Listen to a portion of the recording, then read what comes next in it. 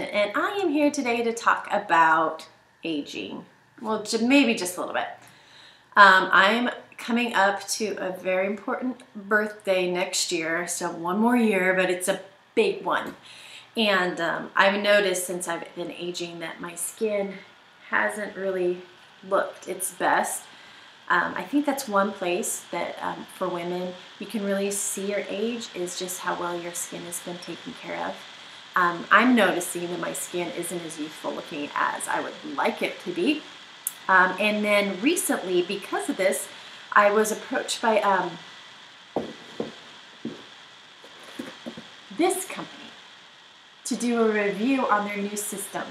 And I wanted to um, take some time to talk about it because this really has made a huge difference in the way that I see myself. Um, so, um, Crepe Erase it's a two-part system. I don't know if you can see that. But this right here is the exfoliating body polish. And this is this first step. So what you do is you use this in the shower, um, exfoliate all over your body, and follow up with this um, intensive body repair treatment. This thing right here. Uh, I've been using this now for a little over a month, and I've seen wonderful results. Um, in my post, you should check out my before and after pictures. I really hope that they show it and do it justice because my, the change in my skin has been absolutely amazing. Um, I'm almost ready for the pool season, which opens this weekend. So now that my legs are nice and soft, um, I'm a lot more confident. Um, I'm a lot more confident with that. So this stuff though, the intense body, um, you can kind of see I've been using it for quite a while and I love this stuff.